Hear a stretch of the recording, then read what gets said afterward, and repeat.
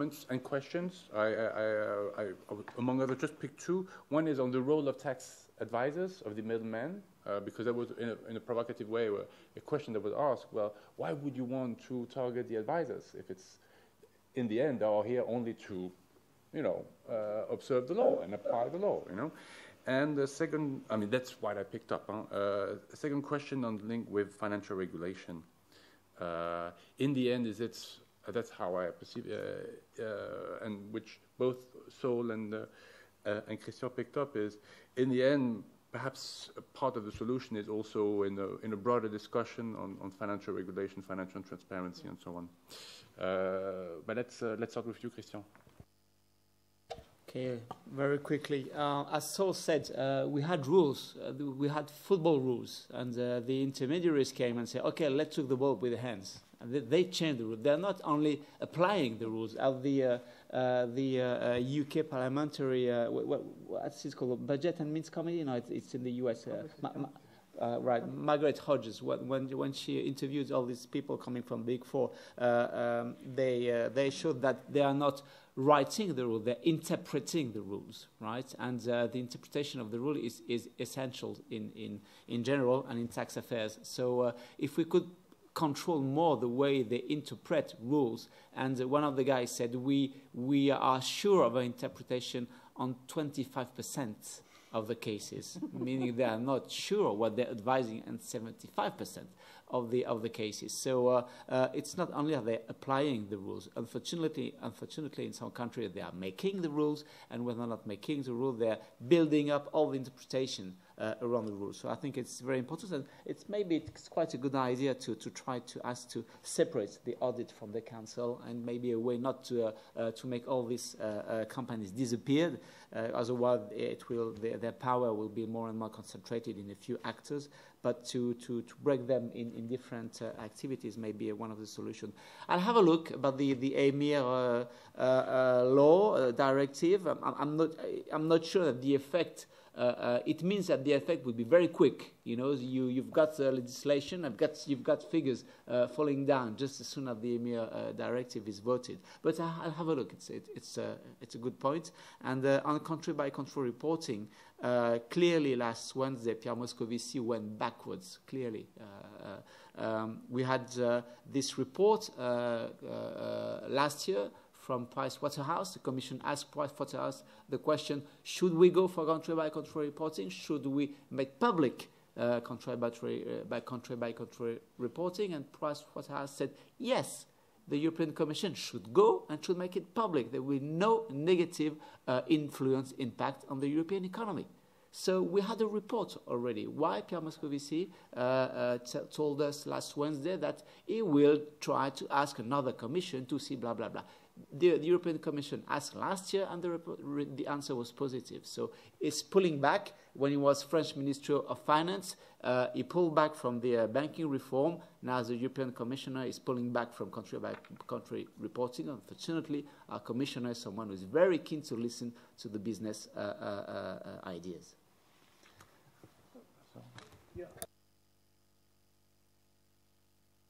Uh, apply the rules absolutely right, they interpret, but it's a circular process. Not only do they interpret, but they also contribute to writing the rules. The uh, is a circular process. Rules are uh, uh, expressed in general abstract ways and then have to be interpreted. Uh, but what you find is, especially in areas like tax, uh, that the, uh, the big four contribute to writing. That's what they're doing in this room down the hall here. They are proposing a rewrite of the OECD transfer pricing guidelines. Now, the transfer pricing guidelines, in principle, are not a hard law. They're what you call soft law. However, they are applied in practice by tax administrations and the Big Four themselves. So what they're discussing is a discussion draft of a rewrite of the transfer pricing guidelines, which once agreed by the Committee on Fiscal Affairs, that will be there. And in many countries' laws, in the UK, there is legislation that says that UK tax treaties should be interpreted in accordance with the OECD transfer pricing guidelines. And not only the UK, you have the same in Tanzania. In the Tanzanian uh, uh, 2010 legislation on arm's length. It says uh, tax treaties shall be interpreted in line with the OECD transfer pricing guidelines and the UN manual on transfer pricing. But it's there. Who put it there? Probably a World Bank advisor who helped Tanzania draft their transfer pricing legislation.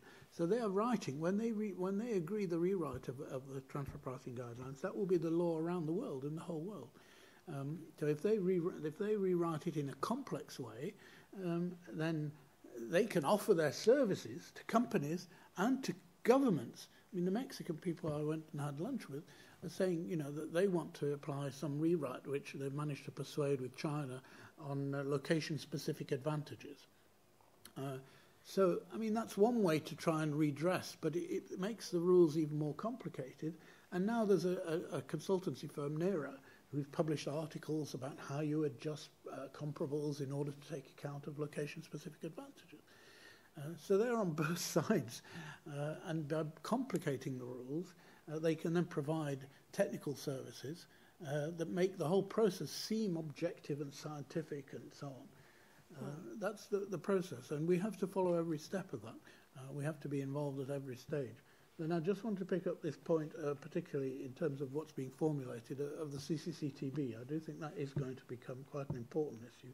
We should try and anticipate it now uh, by having a closer look. I think some of the points that we've made about the draft CCCTB that then went to the Council uh, were good ones about that. But I think also um, there will be some rethink because they put it forward as an internal market measure, uh, not as a tax measure because of competencies. But now increasingly the Commission is putting it forward in the BEPS kind of context as a, uh, anti-tax avoidance measure. And that should open up the co- whole question of the relationship between any CCCTB that might apply between either the EU, but it probably won't be accepted, but through uh, a limited number of participating states, and the outside world, because the way they formulated it was it would only apply internally, and you could still use tax havens on all the rest externally, and what would apply externally would be all the rules that they're writing down there. Uh, but there's no reason why they shouldn't draft, and I think we should anticipate that by putting forward a modified CCCTB that would incorporate, for example, profit split rules and other uh, more logical uh, systems to the outside world. I mean, it's unlikely that would get through, but at least it would show a way forward. Uh, that's, I think, the way a CCCTB should work as, as being an anti-avoidance uh, um, uh, uh, measure. Just very quick on, on treaty shopping and Panama. It's quite funny because Spain had to renegotiate the double um, the, the, the, tax treaty with Panama also as a precondition uh, before the Spanish companies were um, finally appointed uh, to be one of the biggest uh, uh contracts they have ever had um, and the result is uh, not in the interest of, uh, of uh, those countries. Spain, Spain, is also one of the most aggressive countries when negotiating double tax treaties with Latin America. The only country where we found that they managed to balance is Argentina, because the Argenti- well, the capacity, the negotiating cap- capacity of Argentina is not the same as other countries, and uh, the Argentinian tax administration found that in 2011 uh, there was a strange move from uh, headquarters of Argentinian companies moving to Spain uh, through uh, figures, uh, some kind of holding companies. So they were not paying taxes in Argentina and not paying taxes in, in Spain. The investment from Argentina to Spain rise, rose by 1,400% in one year. Uh, the, the, only example when we found a country that was renegotiating the, the double tax uh, treaty. And, um, but the others, they are not, I mean, that's why it has to be in a multilateral space because not all the countries have this capacity. The other thing is, uh, uh, when you were talking about the cuts in, um, in human resources in tax administration, we need also to look at where those human resources are allocated. In Sp- Spain is also one of the countries where we have the smaller ratio of uh, tax inspectors per uh, inhabitant, but the resources are not on the big tax avoidance. They are most on the small uh, tax avoidance control. Mm-hmm. So this, in, I mean, we, we, we also have to show, to highlight this, and I encourage you to do this kind of analysis. I'm sure you will find lots of uh, support.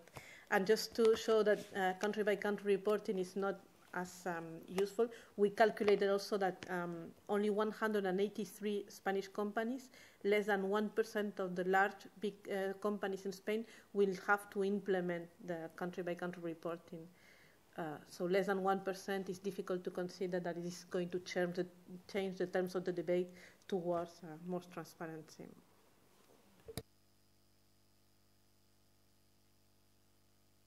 Eh bien, uh, thanks to all. We have um, Brandon. Are you you still with us? Brandon is gone, but for sure the FLCIO uh, will be back with us very soon. I hope. Okay, let's have a short, uh, uh, super short, 10 minutes break max. Okay, if we can, and so let's resume at uh, at 4:30, if that's a plan. Okay. Uh,